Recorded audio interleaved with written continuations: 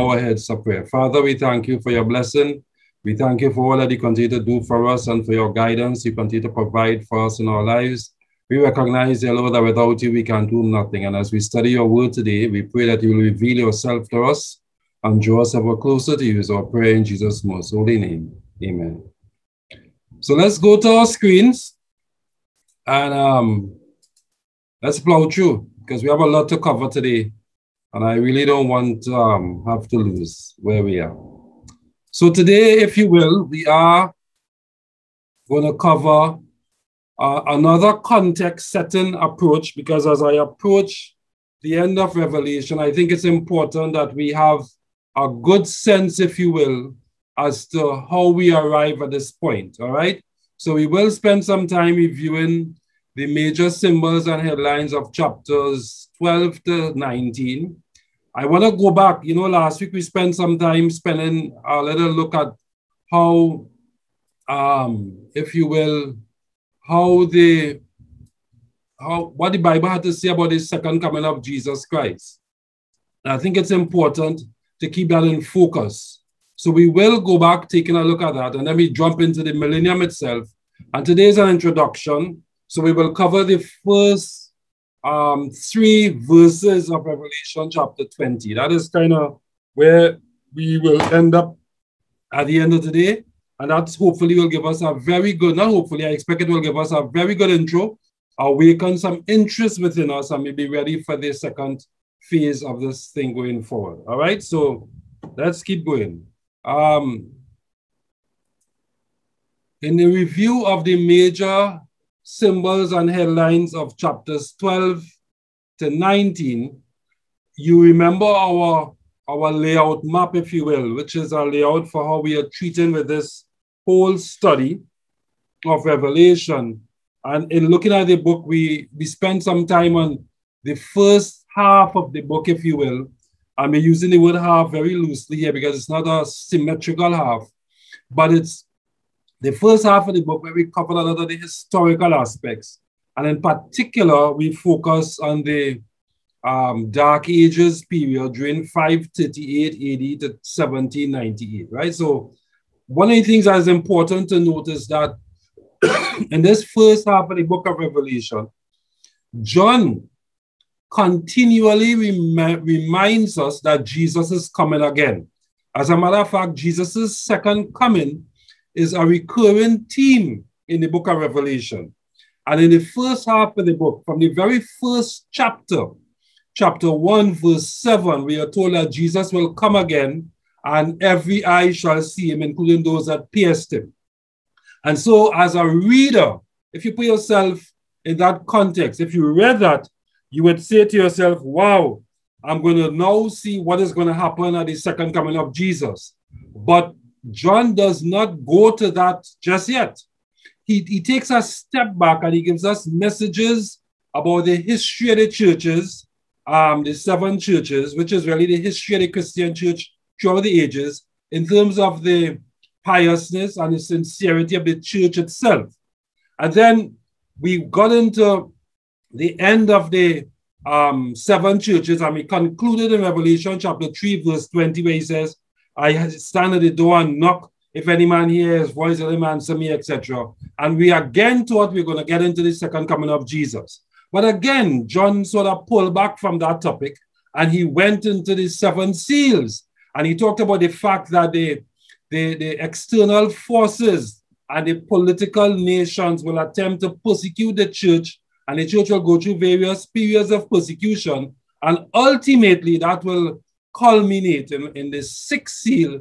We talked about Christ coming there, heavens he partners a school, rocks and mountains falling upon the wicked people, etc. And again, we were introduced to the second coming of Jesus Christ, silence in heaven for about half an hour, right? So we thought, well, right, this looks like a time now where we're really going to get into the second coming of Jesus. And then as we moved along, we went back again into history through the seven trumpets. And again, we got an insight into how the church itself would behave and how the church will become corrupted and how after the seven, after 1798, the French Revolution, there would be a, a really outpouring of the work of the church and we would start to see the, the spreading of the gospel, etc. And we got a little insights into the fact that the church is going to be wounded, the Christian church, the official Roman church will be wounded, but that it will eventually rise again, right? So that was the, the seven trumpets. We were told about the great disappointment that will happen in 1844 in Revelation chapters 10 and 11, and then we were told to preach again. So that was the historical half. So we then came to Revelation chapter 12. And in Revelation chapter 12, we started now to get a sense, if you will, of some of the big things that is going to happen towards the end. And one of the very first things we encountered is that we concluded Revelation chapter 12 with an understanding that there would be a war on earth between the dragon, which is the devil, and the church, which is represented by a woman, if you will. And that is going to cause some havoc. All right. So, so we had that very important phrase that concluded chapter 12 that says, and the devil and the dragon was wrought with the woman. You all remember that well. And went to make war with the remnant of a seed. And be told who keep the commandments of God, etc. So that is important because it's important to remember that while the first half of the book gave us historical overview for us, that is, in John's time, it would have been forward looking because he was living around 80, 90, 80, 100. But for us today, that is looking back. It's a review mirror where we are seeing what took place in the back, a review mirror, if you will. And we are seeing what took place historically. But now, as we get to Revelation chapter 12, John is pointing to something that is even future to our time. And he's suggesting that going forward, there will be a real war between the, the dragon, which is the devil, and the woman, which is a remnant of a seed, the last day church of God, as we move towards Christ's second coming. So again, Christ's second coming is, is, is kind of predominant in this half of the book, but we are not getting to the actual details of when Christ comes. We are told about other things as we go forward. What are these other things we are being told about? Well, Revelation 12 talks about the woman, the child, the dragon, etc. And I could argue, if you will, in summary, that Revelation 12 introduced the war or reintroduced us to the war, because in the Old Testament, we talked about the war between good and evil, and we talked about in Isaiah and Ezekiel about um, the devil wanting to be like God, etc. So Revelation 12 reintroduces this concept of the war, but it goes a little bit further than we have ever gone before because it tells us that the war started in heaven long before the earth was without form and void and before the earth was formed and that the Lucifer was cast out, and that he may have still had some opportunities to go back into heaven, which you remember from the book of Job. But by the time he had crucified Christ, or by the time Christ was crucified, let me say, um, the devil lost any opportunity. He was permanently cast down upon it. And in the remaining time that he has, he has focused his strategy on going after God's last day church. Is that all right? Because he has already lost the battle against Christ. And so who is now focused on, if you will, are the um, the people who are Christ's followers. So in our in our truth, in fact, you and I, we are carrying a heavy burden because we are representatives of Jesus Christ upon the earth. And sometimes it is good to remember that we are representatives of Jesus Christ. It kind of helps keep us humble because when you are tempted to think a lot about yourself, you need to remember that we are representatives of Jesus Christ upon the earth. All right, so the devil is after us. And then we got to Revelation chapter 13, which then introduced a, a whole lot of um, different images, if you will.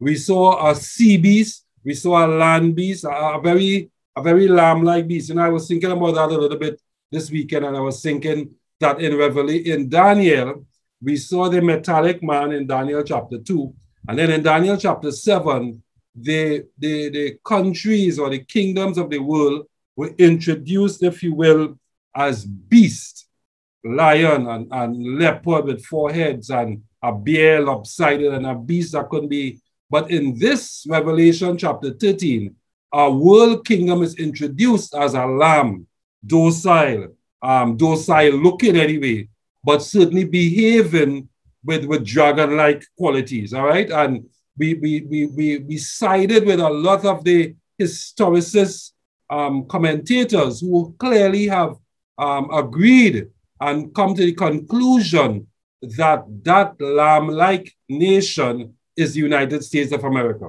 and will have an important role to play towards the end time. What is the role it will have to play? Well, it will, it will at some point in time um, unite with the religious leadership of the Roman Church in the last ages and would create a, a union that will force worship according to the Christian beliefs of the Roman Church. All right, and that is what we refer to as the image of the beast. And we say that one of its identifying marks, if you will, would be one something that was instituted by the Roman Church that seems to have universal application. And we agree that that represented Sunday worship. All right.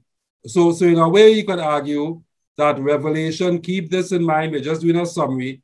Revelation 13 then introduced us to the dragon's team, which is made up of a lamb-like beast and a sea beast, the Roman church, our, our country, or a nation, or a kingdom led by the Roman church, and a, a political nation that seems to be lamb-like initially, but becomes a dragon-like in its behaviors. And that those two will marry together with the other nations of the earth, and they would basically be united in a fight against God's people. You could very well see that Revelation 13 is a continuation of that theme from Revelation chapter 12, which is a theme that says the dragon is organized, united, if you will, to fight God's people. What Revelation 13 did was to expand on that and explain to us who are the main uh, members of the dragon's team. And that would be worldly, um, world nations and political systems united with the religious leadership of the Christian church. And they in turn would create a fight. It seems, it seems um, not strange because we've seen that before when during 538 to 1798, a similar um, union occurred and that resulted in, in people being persecuted, etc.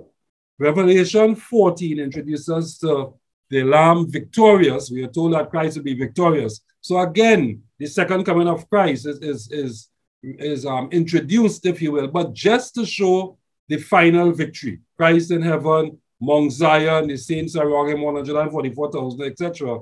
But we haven't, we have, we still have no details as to what happens when he comes, right? Except for the general thing about rocks and mountains falling and heavens departing, etc.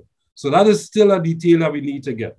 But we are told about three angels, which we said represented God's people. We're told about Babylon and two harvests. So if you were to summarize chapter 14, it is really to say that while all this fight is going on upon the earth, God's reaction to that fight is to proclaim the gospel. Isn't that important? That while the world seems to want to fight God and his people and want to destroy them through violence and economic sanction, God's response is to say to his people, don't pick up weapons and fight them back. No, proclaim the gospel. Let them know that there is a God who saves. Let them know there is a Jesus Christ who can save people from their sins. Let them know that I've started judgment already in 1844. Let them know that I will come in sometime in the future and they will either be on the side of the saved or the side of the lost, the harvest of the wheat or the harvest of the grapes. Are you appreciating that? There is a there is a, a, a stark difference in the in the in the strategy God has designed for his people versus the strategy of the opponent and the adversary. So the devil is attempting to destroy God's people, um, impose economic buy, no sell, etc., sanctions on people, etc. But what we find happening is that in God's case, he's saying, preach the everlasting gospel. Sister Jama, you have a question. You can talk. If you're on mute, you can raise your, you can talk, to Sister Jemai. So your hand went up. No? Hello? Or that was by accident. All right, so we're not here now, but we will, um, so we'll move on, right?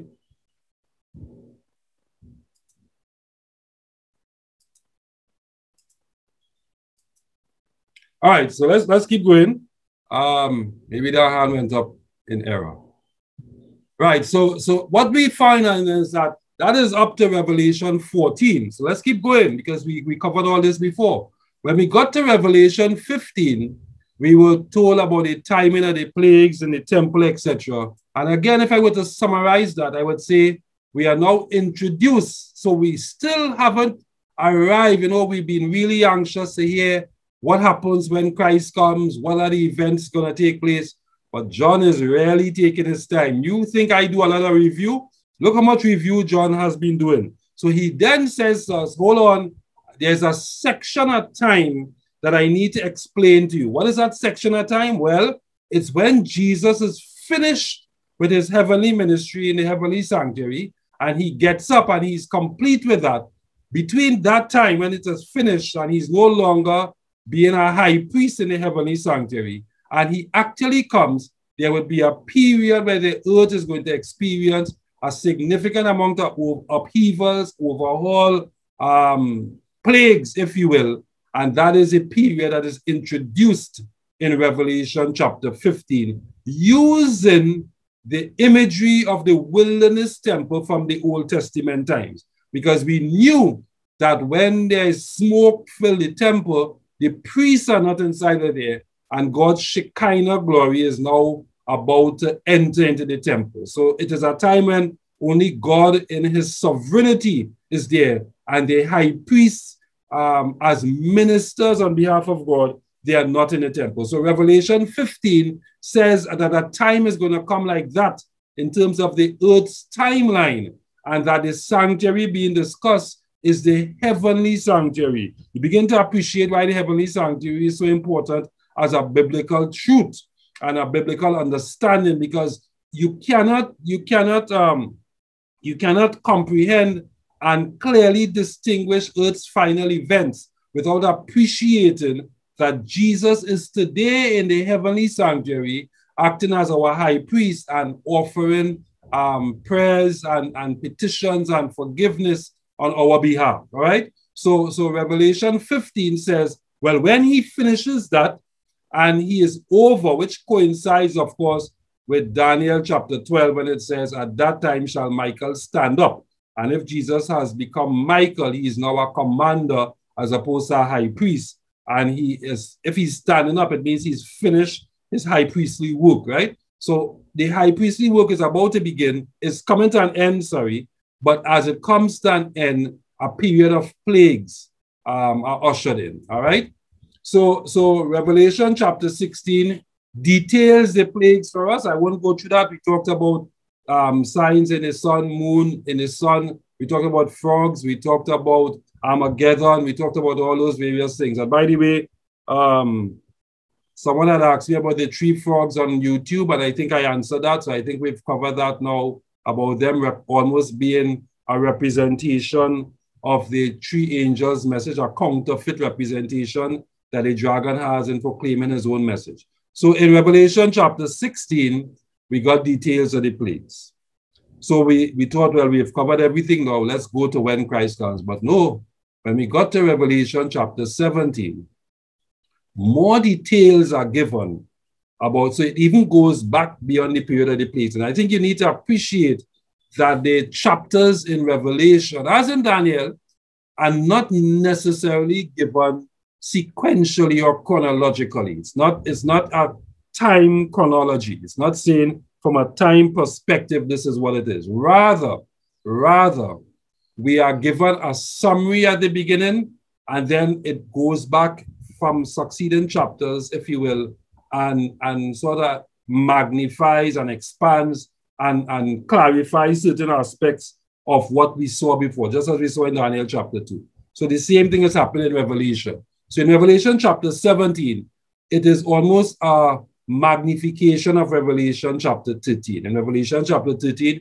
we are told about the lamb-like beast and the sea beast, Well, Revelation 17 uses a different set of imagery. It talks about a woman who is a harlot, a prostitute, if you will, but it really means a beast. And it is using that, if you will, as a basis for discussing um, the details about this end time alliance. And as we begin to study this, some important truths come to us. One is, of course, that the woman um, is the mother of all churches, of all harlots, which suggests that she is not alone. The woman church is not alone, but that there would be a coming together, an ecumenical coming together of all the churches, if you will, and that they would be united with political forces. And when we talk political forces, Revelation 17 expands it to say it's not just America, but the kings of the earth, suggesting that there is a, a sort of worldwide coming together, of course, led by America. Um, and it creates this huge union that seeks to destroy God's people. All right. So Revelation 17, if you will, talks about end time battles and the bitter experiences of the believers because it, it gives us a little bit more detail about the battle of Armageddon and tells us that the final, this final union of church and state will come to the point where they will want to persecute and further um, destroy God's people. And then we got to Revelation 18 and 19. So 18 and 19, again, we thought we were going to go to the second coming of Jesus, but Revelation 18 and 19 carried us back a bit. Chapter 18 gave us a lot of um, the songs that we've seen in the Old Testament, where God is reminding his people that this Babylonian system, this, this system that is filled with violence against God's people, it will not win. It will be destroyed it will come to an end. This union will not succeed. And so he is, there are songs of victory, maybe lamentations, if you will, around Babylon, but there are songs of victory for the other side. And God is saying, you know, there's a there's a, a verse in Revelation 13 that says, Here is the patience of the saints. Here are they that keep the commandments of God. There, there, there will be a tendency among God's people to want to fight fire with fire. You know, the people are coming after you with all this drama, and you would say, Well, why are we still just preaching gospel and praying? Can't we do something else? And God is saying, Be patient. Just stay in your corner and do what you're supposed to do because at the end of the day, Babylon will fall. All right. And then he just to just to remind us about the value of being patient, he says, I will sup with you as a wedding supper of the Lamb up in heaven. You know, I've invited you to be with me, you will be with me. And then he concludes by telling us that Babylon will come to an end. So, so Revelation 18 and 19, if you will, gives us a sense of, a sense of how the battles end and that the war is almost over. All right, and I say almost because when we get to chapter 20, there are some details that we need to cover that will really signal the end of the war. So I hope everybody is kind of comfortable. So we came, if you will, to this overall sequence just before Christ comes. There will be the seven plagues. We'll have the sealing of those who are faithful to God, represented by 144,000 symbolically. And then there'll be a lot of events to enforce worship to the beast and its image, etc. And then we start to see the heavens departing as a scroll. They are really physical um, trauma in the world as Christ comes. But ultimately, we would be part of a great multitude would be saved with him in the heavenly kingdom. God's people will be delivered. That's our, our big message. And then we, we, we took some key takeaways. Jesus is coming back to take those who have accepted the invitation to the wedding to heaven.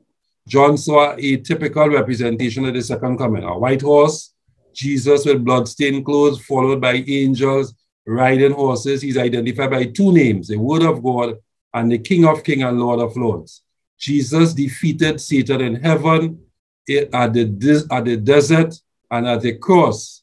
He will now defeat him and his followers again, right?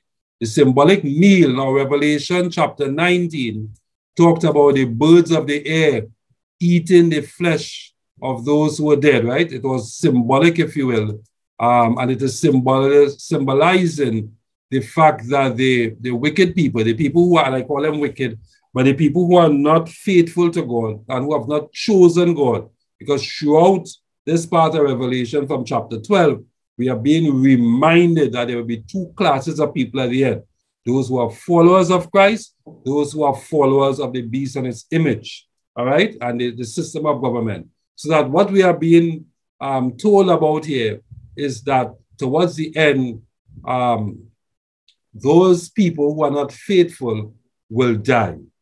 So, so I want you to understand now that while we are heavily focused on the second coming here, let us also appreciate that earth is in a kind of drama state. It's in, it's it's desolate. It, it's, it's just gone through a series of mountains falling, rocks falling, fall upon us, volcanic activity, um, fire and brimstone looks like um, people are dying.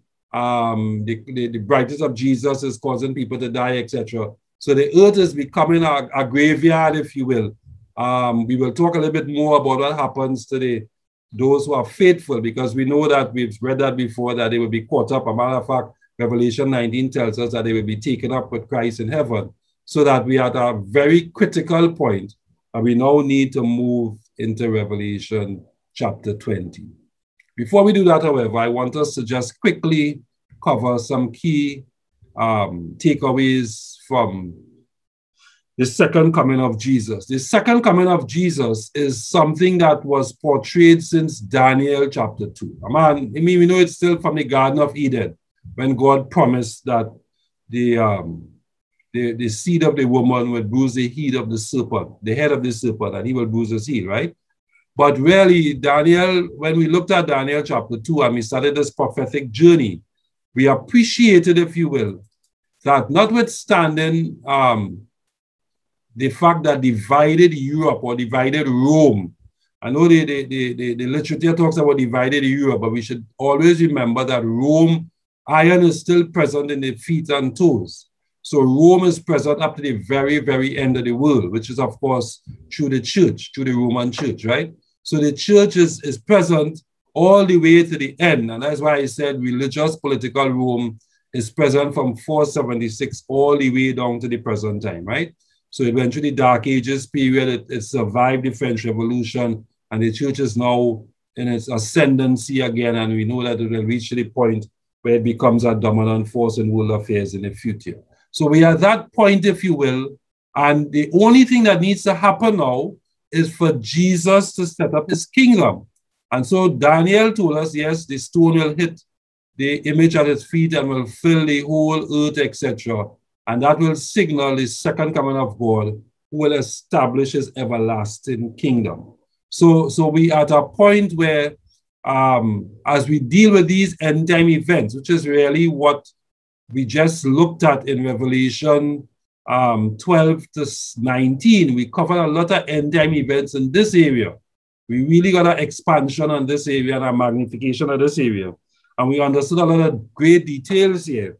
What we are now to understand is that the only thing that seems to be outstanding is the ultimately the second coming of Christ. We know that there are other events that will take place in terms of the union of church and state becoming a real significant event. But ultimately, what we look for is the second coming of Christ and Him establishing His everlasting kingdom. So, the second advent, it is with Christ's second advent when the kingdoms of this world are destroyed. I want you to pay attention to that word, eh? that God sets up his kingdom of glory, a kingdom that will last forever. That's what Daniel told us in chapter 2. Then his people will begin their reign. So God is saying, look, I am painting you a picture of war upon this earth, a war that started in heaven, and now the theater of the war is earth itself. And you followers of Jesus Christ, you are key actors in this war. You are key participants. How do you fight? Well, you fight by preaching the gospel, letting people know that I am here to save them. Let them know that my judgment has started I'm going to come a second time. And let them know that the oppressors will soon come to an end. That is our response. And just be faithful and patient. And it's hard for us to accept that but ultimately, we are sure that Jesus will set up an everlasting kingdom, and in that kingdom, love will reign. In today's world, it seems as if violence and battle reigns, and that who is stronger wins, and who can hit the hardest wins. But in Jesus's world, those who are love, those who are preaching his gospel, those who are patient, those who are whose whose character is a I live, Paul says in Galatians 2:20, yet not I, but Christ lives in me. That is what the sealing of our character is and, one, and 144,000 means. It means that God's character comes within us. When that happens, without, without throwing a stone, without landing a punch, Christ comes, destroys the earthly governments who are and kingdoms who are bent on violence and, and force to win and, and persecution to win their place. He destroys that. He establishes a new kingdom. And those of us who have chosen his way of love, we will live with him in that new kingdom forever and ever. That is, that is the summary of the message, if you will, going forward. So it's important to remember that, that Jesus, the main theme in Revelation is the second coming of Jesus Christ, right? That is something we've been we've been talking about over and over again, and we talked about that last week. And then it's important to remember that Jesus will come again in person with glory and majesty, and that this is the event we are looking forward to, right? He will come on the clouds. Of course, we, we deconstructed this last week and said to you that when Revelation 19 talks about the many horses coming down, you can appreciate that whole cloud imagery as not necessarily floating clouds, but rather a retinue, a host, an army of angels who are accompanying Jesus coming forward, right? And so from a distance, it looks like a cloud. As it gets closer, you realize it's an army of angels, all right? Um, and we'll come back to this thing about those who will be resurrected and still alive will see him at his coming, right? Um, and those who pierce him will also see him, because we talked about that before. So Revelation did not stop. But even when we looked at um, the, the sixth plague in Revelation 6, 14 to 17, they talk about the second coming. Later on, when we are looking at Revelation 11, um, in those two chapters that we pair together, 10 and 11, we talked about the second coming of Jesus, right? So that has been a recurring theme. But there are other biblical references that I just want to remind you of today because it's important. So, for the first time, maybe in our class, I will just quote some texts without getting into the context of those texts because it's important that you appreciate and you understand what we are trying to accomplish, right? So, I just want to leave those texts with you. And if you take in your notes or if you look at this sometime after the YouTube, you can go back and read the context. But it's really, as we have always said, the Old Testament is the platform, the foundation for what is in Revelation. And so we are going through that at this point, right? So he says, Jeremiah gave us some very important predictions as he talked about what looked like the end of Israel, but he's really projecting to the end of time. He says, and on that day, the slain of the Lord, the slain of the Lord, right? So means God has slain them, shall be from one end of the earth even to the other end of the earth. So he's painted a dismal picture here. He's suggesting that at some point God will destroy um, those who are not part of him. No surprises there. We've been constantly um, being told about two classes of people, if you will. And then verse 33 continues and says, They shall not be lamented or gathered or buried. They shall become refuse on the ground. So he's really painting a sort of cryptic, prophetic picture of, of desolation, if you will. Matthew 16, 27 says, For the Son of Man, meaning Christ, of course, shall come in the glory of his Father with his angels, and when then he will reward each according to his work. So Jesus has promised to come again with his angels, and he's also going to reward, which means that judgment will be executed based on the choices that we have made. The other thing is to note that Jesus' is coming is glamorous. It is, it is, it is very visual. It is not a secret. It is not something that happens and you didn't, you're not too sure he come until he hear it in news. It will be very spectacular. As it says, for as the lightning coming from the east and flashes to the west, so shall the coming of the Son of Man be. So Jesus is reminding us, if you will, in this famous, I told I was going to give you context, but I can do that now. In this famous sermon on the uh, mountain before he goes down into Jerusalem to be crucified, that that that that week, that few days before his crucifixion, in Matthew 24, he's saying, For as a lightning cometh from the east and flashes to the west, so, so shall coming of the Son of Man be. So Jesus' coming is going to be a spectacular event.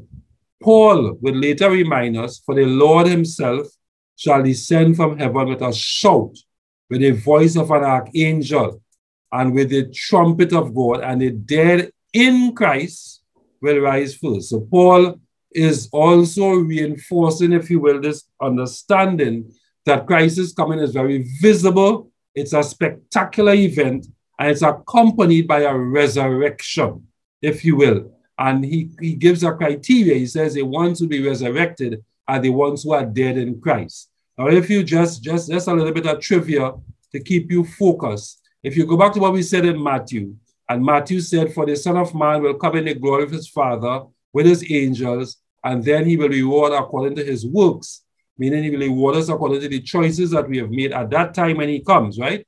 Um, if Paul is also saying that the dead in Christ will rise first, it means that before Jesus comes, he must know who are the dead in Christ. Is that a reasonable conclusion? And that is what is important to appreciate that 1844, the end of the 2300 days prophecy, signal the start of what we like to call the pre-advent judgment or the investigative judgment, the pre-advent judgment, a judgment process that started before Christ comes.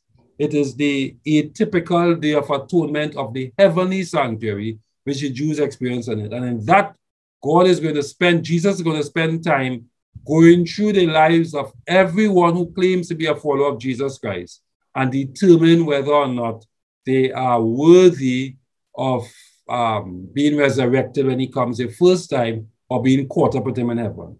What is being worthy? Well, that's simple. You don't have to do anything. You only have to accept Christ and allow his righteousness to cover us.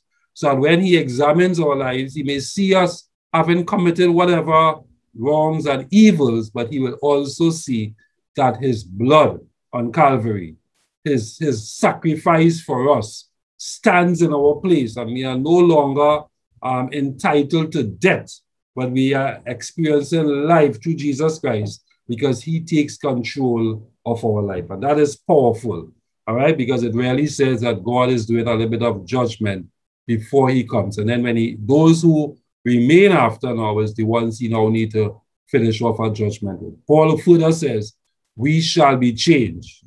For this corruptible must put on incorruption, meaning our bodies, right?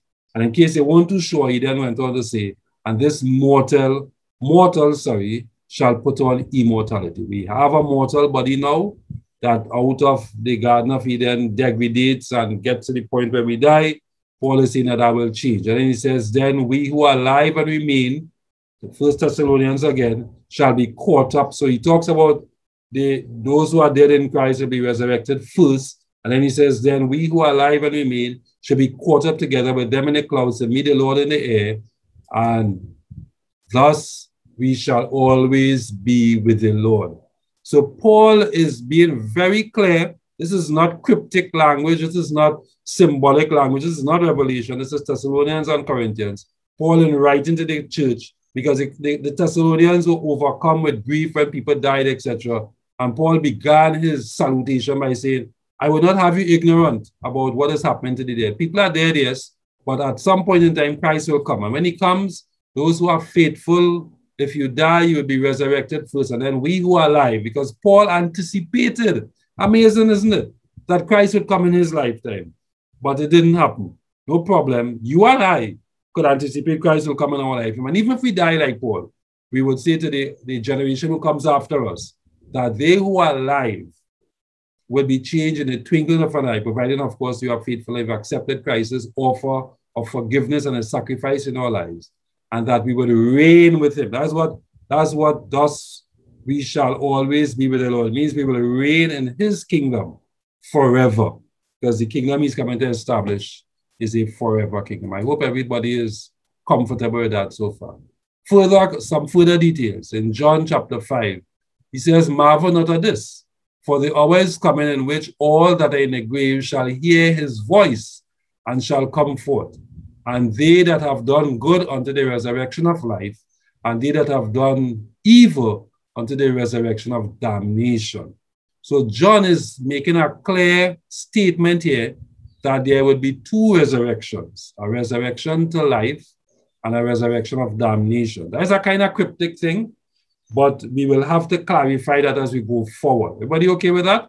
So that is our summary, if you will, of what the Bible says about the second coming up to this point, right? And I just picked a few texts because I wanted to establish this dual nature of two resurrections because Revelation 20 is going to clarify this for us as we go forward.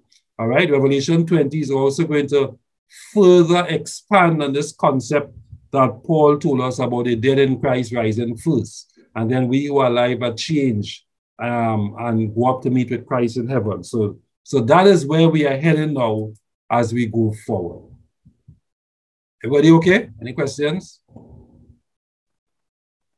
All right. Good. Let's keep going then. Um, so let's talk about the millennium and the end of sin. And, and I want I deliberately tie that together. Um, I picked that anyway for another set of presentations, but the, the fact that they tie them together to me is extremely important, right? So let's talk about the outline of Revelation chapter 20.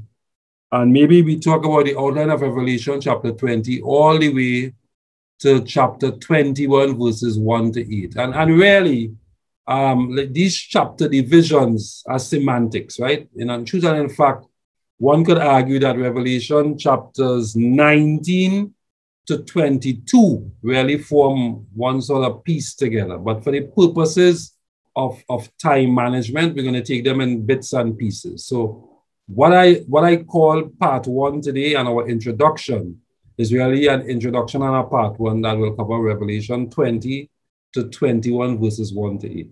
So when we get to next week, we will pursue this a bit further and we'll see how far we go. So verse 1, and I, I, I talk this even though we haven't read the chapters yet, but we will read as we go along. And in your own reading, this is sort of a guide to help you appreciate where things are at, right? So verse 1 says, if you will, that Verse 1 is a sort of introductory scene. You okay with that? It's an introductory scene. It, it's an introduction, if you will, to what is coming up in this chapter. Verses 2 and 3 will introduce. Now, you know, the Bible um, doesn't try to prove itself. Eh? I, I want to make that very clear. I know a lot of people like to use it but to the Bible to win arguments and say, well, let's go and let me tell you what the Bible says. When we started off Genesis, notice how Genesis started. It just says in the beginning, God created. It introduced God and it introduced God at the beginning. It didn't try to explain it. It didn't try to say, well, how God came into being. It didn't try to say, well, why he created it. They just simply laid that out on us, right? And then we got into the creation story and we got into the history of the world. And somewhere um, in that first Genesis encounter, we were told that there was a serpent in the garden. And that is when we first heard about Lucifer, right? Um, we didn't we didn't have all the details we got in Revelation chapter 12 later on. So I'm saying to you that when we get to Revelation chapter 20, this is not um, a logical presentation where God is trying to prove anything to you. He's saying to you that the devil will be bound for a thousand years. That is when we are introduced to this term 1,000 years. And we will talk about that in a little bit. So that is what is introduced in Revelation chapter 20, verses 2 and 3. And we'll talk about the devil being bound in a bottomless pit for 1,000 years. We'll come back to that detail in a while. Verses 4 to 6 talks about the saints will reign with Christ for a thousand years. So there are two contrasting aspects of this thousand years. In the first aspect, the devil is bound with chains, actually, it uses the word chains for 1,000 years. And then in the second aspect, the saints. Who are the saints? You and I, the followers of Jesus Christ, not any special people with powers and stuff. The saints, that's how the Bible uses the word saints. In, in, in the book of Psalms, um, David talks about saints and he talks about sinful people as being saints, right? Um, normal human beings. So, so it's only later on that word saint took on this connotation to mean people with special um, piousness and special fidelity. That was that was not the original intent in the scriptures. All right, so I think it's important just to appreciate that. So the saints will reign with Christ, the people will reign with Christ for 1,000 years. That's verses 4 and 6. And mind you, mind you, in case you jump to your Bible and start to read all this and you get confused, Revelation 20 is a literal, a literary masterpiece, eh? Because it, it, it, it, it follows a little bit of chronological order, but then it goes back and forth, if you will, into the events and provides some illumination as we go along. So it doesn't necessarily flow naturally as you would if you're reading a novel or a bit of fiction, all right? Verses 7 to 10 tells us about a satanic rebellion that will be crushed. I use the word crush here, but that is concluded, punto final, come to an end, because the way it's presented suggests it's going to be really, really final, all right? Um, verses 11 to 15 tells us about the great white throne of judgment. So in all of this potpourri here, there's something going on around judgment. Um, but we have to deal with this thousand years and figure out how that fits into it. And then Revelation 21, 1 to 8 talks about a new heaven and a new earth. That is where we are. This is what we've done. Everything we've talked about before is leading up to this. For at last, at last, Revelation is going to tell us in very clear terms what are the sequence of things that will be going on when Christ comes a second time. We get in a bit more detail than we have before. We've figured out a few things. We've figured out that when Christ comes, it's just at a point in time when the world seems to be assembled against his people and they want to make one final push to destroy them, but God delivers them through his second coming. His second coming will be accompanied with great climatic events and cataclysmic events. The, the heavens will roll back, um, thunder, lightning, there would be mountains falling and volcanic activity, all right? Um, people will die. The righteous will um, be changed if they are alive and go up to meet him in the air, and the, the righteous dead will be resurrected. But there's a mention of a resurrection of the wicked. We'll see when that occurs, whether that occurs at that point in time or sometime after. And now we are introducing another component into this, which is a thousand years. Now that is worrying because we have to ask ourselves, how is it that we have to wait for a thousand years for all this to happen? Or is this part of his second coming? If it's a thousand years, that's a long time. Um, and how does all that fit? And that is the level of detail we need to sort out as we go forward. So let's deal with the first one, which is desolation and the introductory scene, right? So Revelation chapter 20, verse 1 says, Then I saw an angel coming down from heaven, having the key to the bottomless pit and a great chain in his hand. Now, that word then is actually a follow on from the end of Revelation chapter 19. Revelation chapter 19, as it came to an end, we were told, And I saw the beasts and the kings of the earth, the union of church and state, and their armies gathered together to make war against him that sit upon a horse. So they have gathered, if you will, to destroy God's people but Christ puts in his appearance. As Christ puts in his appearance, he is seen as a foreign entity entering into the space of earth. There's an attempt to marshal the universal forces of earth to fight this entity. This is nothing new. You've seen this repeated in movie plots all the time throughout our, our century. And that is because the devil is trying to downplay the significance of this. That's my view anyway. Um, so they gather to, to fight him that sat on a horse and against his army. Verse 20 says, And the beast was taken, and with him the false prophet that wrought miracles before him, with which he deceived them that received the mark of the beast and them that worship his image. So he's saying that when he says taken, it kind of says he's captured. All right, um, it comes to an end, and it includes everybody who is a part of this whole movement. These boats, so he's talking about the beast, the false prophet who had wrought all the miracles. These boats are cast alive into a lake of fire burning with brimstone. If they are cast into a lake of fire alive, obviously they're gonna die, right? So that is a that is a end game, as hellfire. And the remnant was slain with the sword of him that sat upon the horse, which sword proceeded out of the mouth of the of his mouth, and all the fowls were filled with their flesh. Now this is cryptic, because when we looked at this, I told you that this remnant here is not the remnant church of God, but it's going back to verse 20 and saying after he cast the beast and the false prophet who wrought miracles into the lake of fire, the, the, the, the others, those who remained, they died. The fact that vultures are wanting to come to their bodies, they're using that imagery from the Old Testament time to say that they will die. So, so that is how verse, is how Revelation 19 concludes. And verse 20 then says, Then I saw an angel coming down from heaven, having a key to the bottomless pit. So it is saying that there is a point of, of desolation that has been introduced in Revelation chapter 19. It ends by suggesting that Christ has come on his horse. He has taken the, the main perpetrators, the beast and the false prophet. He's cast them into a lake of fire, so they, they well seeing drama, and everybody else has died. But we remember that we were told before that the dead in Christ will rise first, and that they who are alive will be taken up, will be changed and taken up to meet him, corruptible turns incorruptible, etc.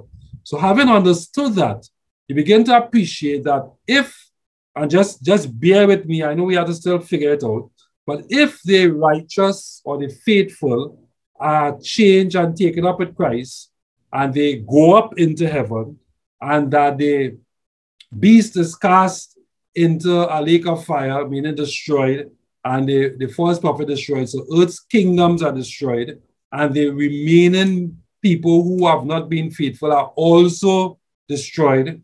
And they are like they, they are like bodies thrown at the ground waiting for vultures to grab them. Then you begin to appreciate that earth must clearly be in some sort of desolate stage. Is that okay? So this is the timing of Revelation chapter 20. It is at his second coming of Christ. His, his brilliance and his brightness has caused people to die upon the face of the earth. They have fallen down in death stupor, if you will. The, the, the righteous dead are resurrected. They have become immortal and they have been taken up into the clouds with him.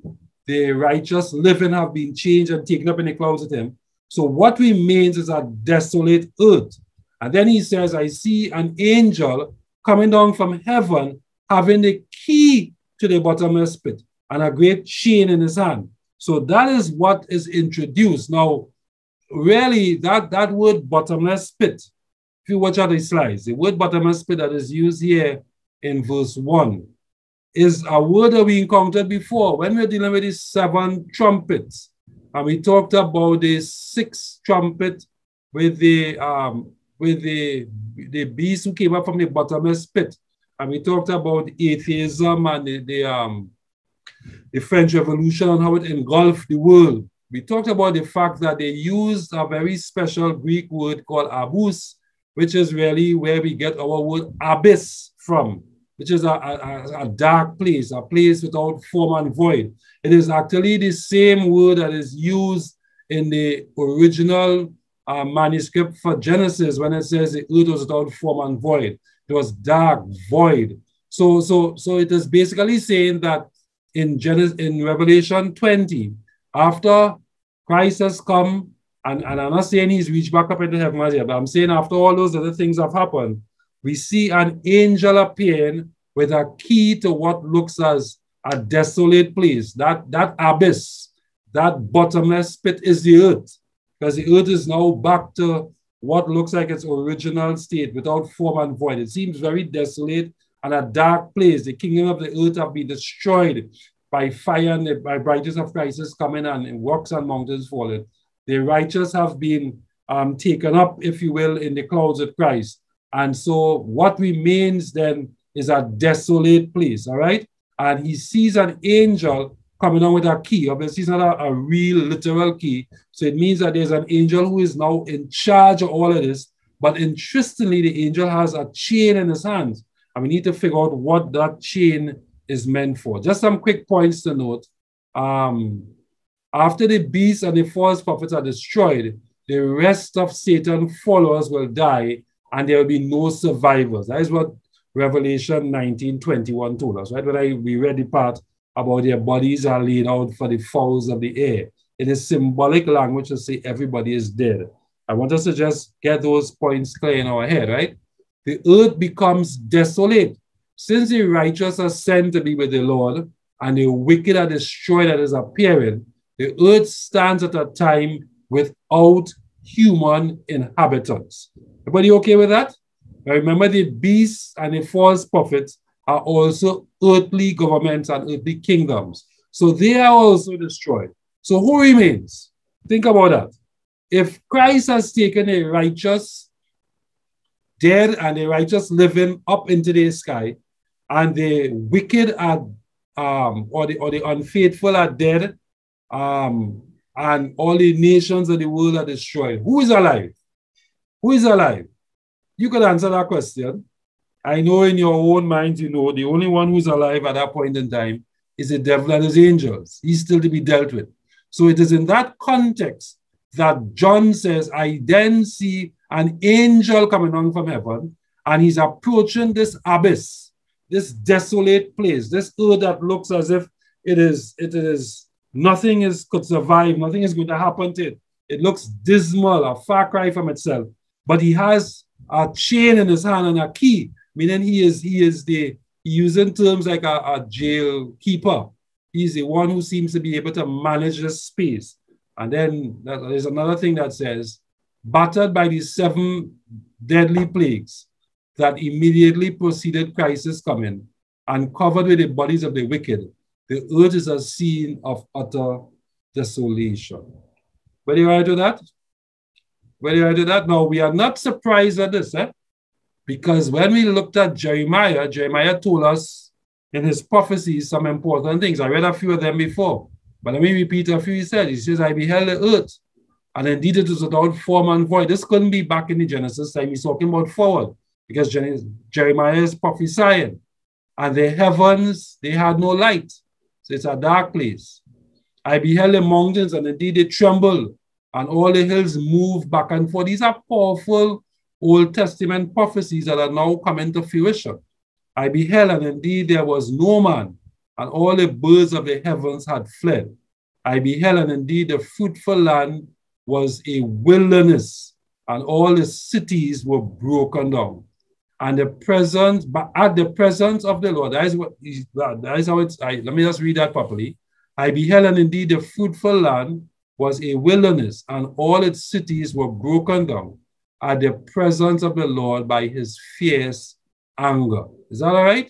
So it's basically suggesting that um, the Old Testament prophet was talking about this very time when the earth seems to be desolate. There's a, and I, I'm not talking, I can't tell you how long that time is. All I'm saying is that as the thing, as the sequence occurs, Christ comes, they try to fight him, he destroys the kingdoms of this world, the Christian church, the, the um, political kingdoms that are siding with the Christian church.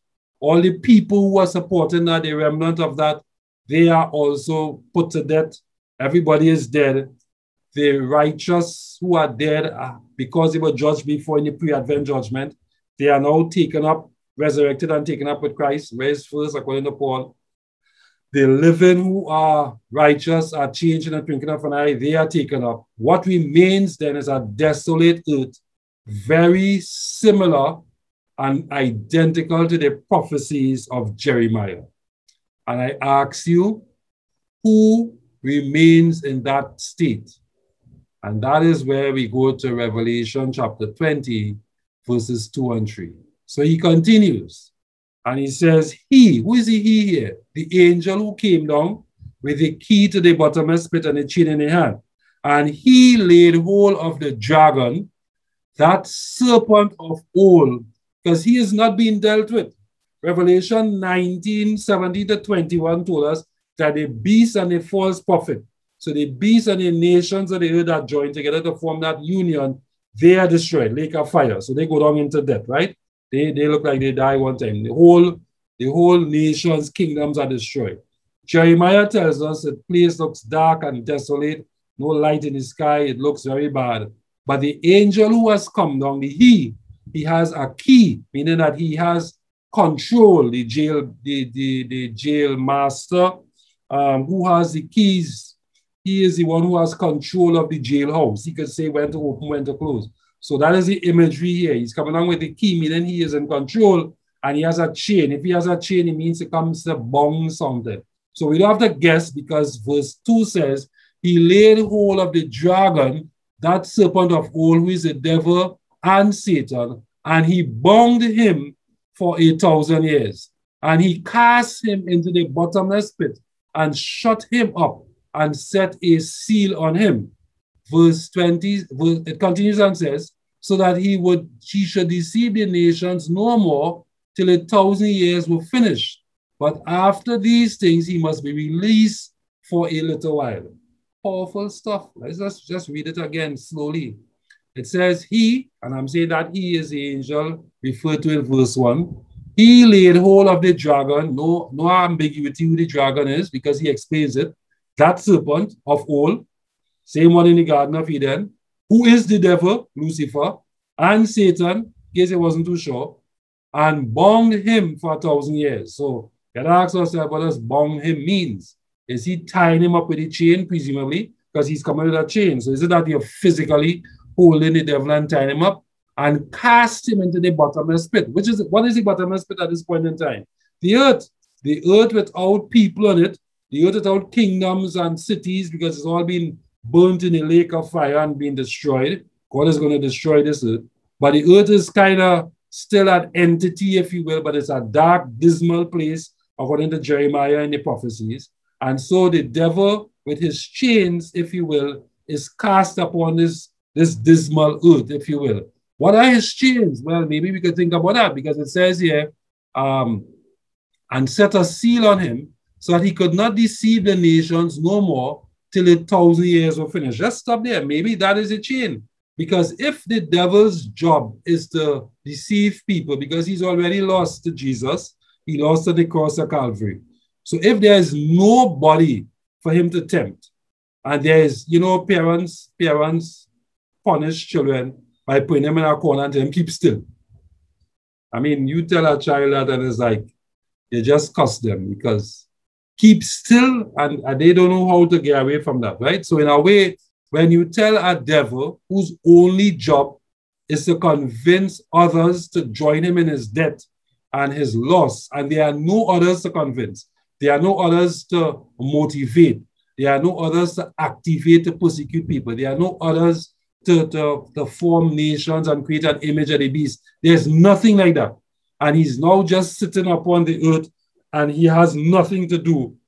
Effectively, he is bound and tied and cannot do anything. That is fundamentally what we are saying here. He is bound he is unable to carry out any activity. Is that okay? And that is what we are establishing.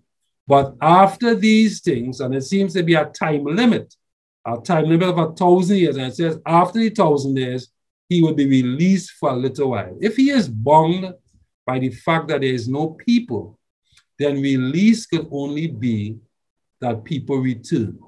If people are returning, it means that there's another resurrection. But the only people who are yet to be resurrected are the unfaithful who did not believe in Christ and were dead when he came at second time. So we need to think about that because we're not going beyond chapter 2 today, but I mean verse 2 today. But when we get to next week, we'll talk about that a little bit more. Some key points. This millennium merely means a thousand years, right? It, it's, it's really a, uh, double barrel word, if you will, that we've come together to call millennium, just like century. Um, and it means centuries are a hundred. Um, and so milli is a thousand, and then we tie it with annum, which is um, for million years, we get millennium, a thousand years. So clearly, when it says that Satan is bound in chains of darkness on a desolate earth for a thousand years, it is really speaking to the fact that he is upon the earth with nobody to tempt. Are we okay with that? I know you like little Satan depiction I have here, but let me don't get caught up in remembering that Satan looks like an angel of light, right? So let me don't forget that. All right, so so we're just using this for illustrative purposes anyway. But the point I want to make is that when it says he's bound um, on the on the earth, is because he's now on the earth for a thousand years without anybody to tempt. Is there anything to suggest that this is symbolic language? No. The, the, the whole context in which it's presented suggests that yes, the bond is is is symbolic. Yes, the chains are symbolic. You can't see chains holding on to Lucifer. But how can you hold Lucifer? Well, we already told in Revelation 12 that he was cast down upon the earth. But when he was cast down on the earth after Christ died and was resurrected and went into heaven, and then he could no longer roam anywhere else in the universe but had to stay upon the earth. When he was cast down upon the earth, he then said, Look, I in a short time. What does that mean? The devil has a short time. So he goes about making war with a woman and a remnant of a seed. Why does he think he has a short time? Because he knows that 2,000 years is nothing in the sight of God, and that is a little bit of time. And so he focuses his energy, already condemned, already given a death sentence, he focuses energy on carrying friends with him. You know, the people say friends just carry but they don't bring you back. He carrying friends with him. I had a story long time used to say that when the fox lost his tail, he told all the other animals how, you know, how free I run these days without a tail. Why don't cut off yours too, you know? So he, he is carrying more people with him, if you will. And therefore he is, he is very busy. However, when Christ comes physically, burst the clouds of glory spectacularly, like lightning from the east to the west, visibly upon our, our clouds, which is a retinue of angels and an army of angels. And he comes upon the earth. People die, those who are unfaithful. The, the nations of the earth and the physical um, representations of that are destroyed in a lake of fire. Right? And all of that is destroyed. The righteous go into heaven. Whether they were dead in Christ or they were alive and changed, they go up with Christ into heaven. And he is now in this desolate place.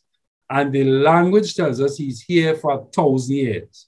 There's nothing to suggest that a thousand years is figurative. So for now, we accept as indeed all other commentators that this is a literal thousand year period. So he is on the earth for a thousand years with nobody to tempt. That is phenomenal. That is virtually putting him in jail and bonding, and binding him, if you will, upon the earth. He's bound forever. All right, so we begin to ask ourselves as we close off, what are the sequence of events? And let's just go through them again, right? Jesus' second coming is the start of the thousand year period. Let's accept that, yes? This is the, the, the, the starting point of the thousand year period, Jesus' second coming. So the faithful who are alive are transformed and caught up with heaven, heaven with him. Paul told us that in First Thessalonians 4, um, told us again in Corinthians, corruptible into incorruptible. And then when we looked at um, Revelation 19, we were told that they are caught up, right? But we'll talk about that even more in chapter 20. But up to this point, the faithful who are alive are transformed and caught up with him. The dead in Christ are raised alive with him. Everybody okay with that so far? The unfaithful, I don't like to call them wicked, the unfaithful who are alive, they die. Of course, the unfaithful who are dead remain dead. Let's be clear about that. They are not resurrected, right? So the unfaithful who are dead remain dead. The unfaithful who are alive um, die. All right? Earth becomes a bottomless pit. It becomes desolate, right? So earth becomes a desolate place. That's the, that's the other sequence now, because there is nobody here. And then the other thing is, in that desolate earth, Satan is bound for a thousand years. So you could argue that the next part of the story is what happens during that thousand years, and then what happens after the thousand years. Because we need to understand what that means when it says he was released for a little while. What does that mean? Everybody okay with that? Just go over the sequence again to make sure we're all on the same page. Christ comes, the faithful who are alive are transformed and caught up with him. The dead in Christ are raised to life with him. Unfaithful who are alive die. Earth becomes a desolate place, if you will, a bottomless pit. And Satan is bound on earth for a thousand years. There's a little bit of a, um, a, a, a subplot or sub story inside of here that those of you who have read Ellen White extensively, she would tell you that the when it says in Revelation chapter 1, verse 7, that when Christ comes, every eye shall see him, including they that pierced him. They that pierced him are dead. So they would see Christ, for them to see Christ when he comes, there is a partial resurrection of them, if you will, so that that prophecy is fulfilled. But that is something that we could pick up at another time. I just want to keep this sequence clear in your head that what we have here are the faithful who are alive, transformed, and caught up with him. The dead in Christ are raised to life with him. Unfaithful who are alive die. This is there's an implication here that the unfaithful who are dead remain dead. Earth becomes a bottomless pit, an abyss, a place that is without form and void. It becomes a dark place, right? As per Jeremiah. Go back and read those verses in Jeremiah chapter 4. They are powerful representations of this period. And so the devil is now um, isolated to a place already cast down since Revelation chapter 12 and can't go anywhere else in the universe. So he's now in a, in a, in a chained environment. He is bound not physically by chains, but he's bound by circumstances, unable to tempt anyone. He's really come to an end. So you could argue that we have covered the introductory scene and Satan being bound for a thousand years. We will finish the rest of this next week. So next week, we will cover the other three sections, if you will, as part two. And then in part three, we look at the new heaven and the new earth. Some closing thoughts. At the second advent, the first resurrection takes place. The righteous and the blessed and holy are raised, right? That is something we'll come to when we get to chapter verse 6 of Revelation, chapter 20. So that is what happens, right? This is just reinforcing that sequence we just talked about. After the resurrection of the righteous dead, they and the living saints are caught up to meet with the Lord in the air, as what Paul told us in 1 Thessalonians 4.17. Christ does not establish, this is important, Christ does not establish his kingdom of glory on the earth at this time. He does that at the end of the millennium. So I'm giving you a hint because what we looked at in our sequence is that Christ takes the, um, the, the righteous with him. And therefore, there is a period where, for that thousand years, the righteous saints of God are reigning with Christ in heaven. Not upon this earth, but in heaven. Now, that's an important detail because if you have been a regular Christian and you keep repeating um, John chapter 14, verses 1 to 3, let not your heart be troubled. Believe in Christ, believe also in my Father's house. There are many mansions. I would go and prepare a place for you, that where I am, there you may be also. You know that Christ had promised to prepare a place in heaven for his people. But is heaven the final kingdom destination for this world? And the answer is no, because we have to we have to deal with that. But our our argument and our our um our our hypothesis or our, our position at this time is that Christ will re-establish our kingdom on this earth, a new earth, and that it will be made new and that we will live here forever, right? So the, the heavenly um, period is a short period for about a thousand years. And we talk about it in detail when we come back next week.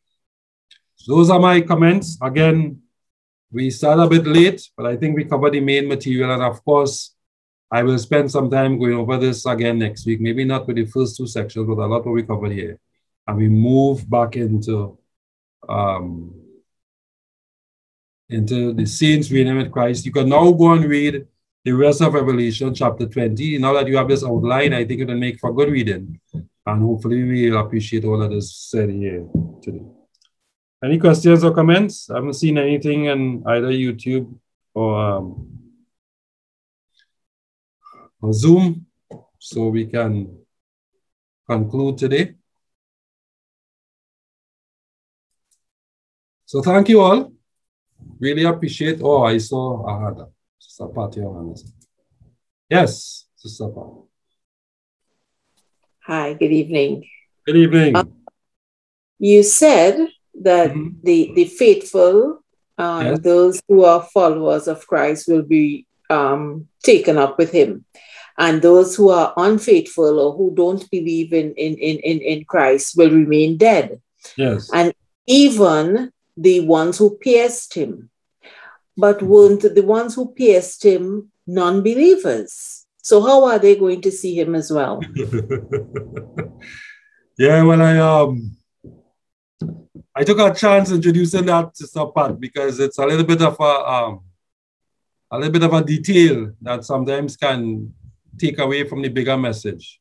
So I, if you notice, I preface that by saying those who are regular readers of Ellen White so in, in Great Controversy, for instance, Ellen White talks a little bit about that because she is attempting to explain, and she's not alone. Eh? A lot of the older um, biblical commentators have the same views. So that verse in Revelation chapter 1, verse 7, that says, Christ shall burst the clouds of glory, and every eye shall see him, including they that pierced him.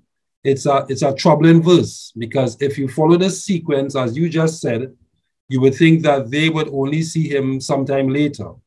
But his statement was clear that they would see him when he comes and he bursts the clouds of glory.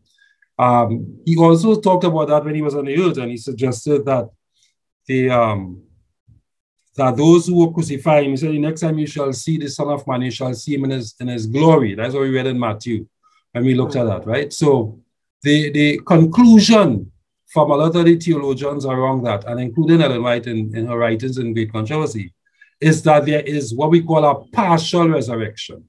So that they are resurrected for the fulfillment of that prophecy, but then they go back into their dead state, waiting for the end of the thousand years.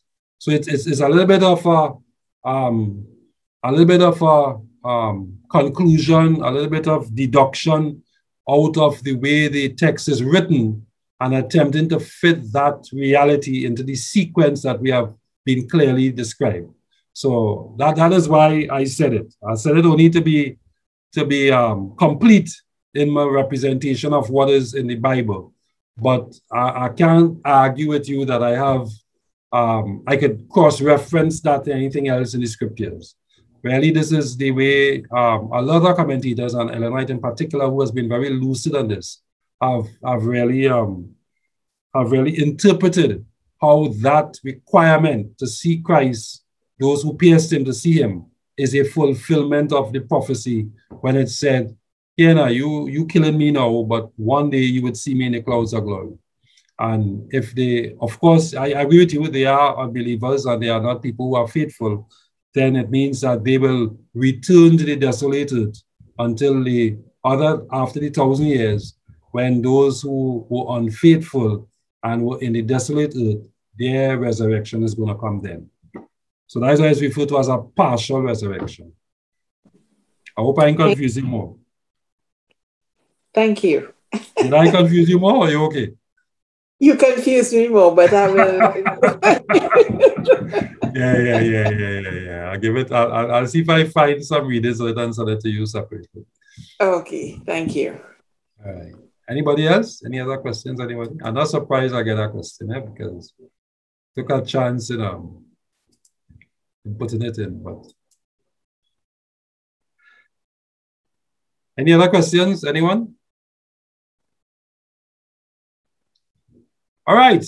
Well, I think we've covered our main topic for today, albeit at a little bit of speed, but we got it out anyway. So we will return to this next week. Um, this is exciting. I think you should really spend some time this week just reading Revelation 20 a few times to make sure you understand every aspect of it. And then we get back to that again as we go forward. All right. So let's um let's conclude with a word of prayer. Oh, Deborah has a question. Yes, Deborah. And unmute. Yes. Um, and there was also a partial resurrection when Jesus went into heaven also. Yes, yes. So that, that was what I was going to find for her to send.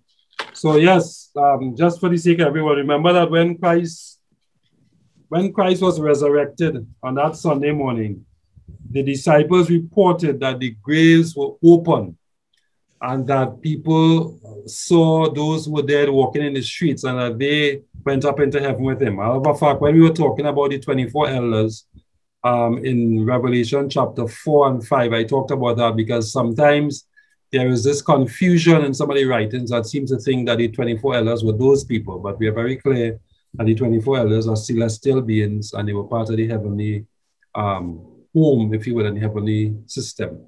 So there is there is um, precedent, if you will, for that sort of partial resurrection, which is what has been covered. But I just want to keep the big picture in your mind in terms of the sequence. Yeah? Mm-hmm. All right. Anything else? Anybody?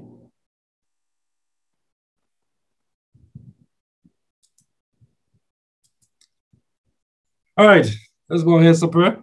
Heavenly Father, we thank you, Lord, for your blessings. We thank you for your word and for the details you have given to us in your word. We pray that you would lead us according to your divine will, dear Lord, and that you would continue to really open up our hearts to understand the importance of your word and your message. Draw us ever closer to you. Thank you for this powerful truth that you revealed to us today. These are the mercies we do ask in Jesus' most holy name. Amen.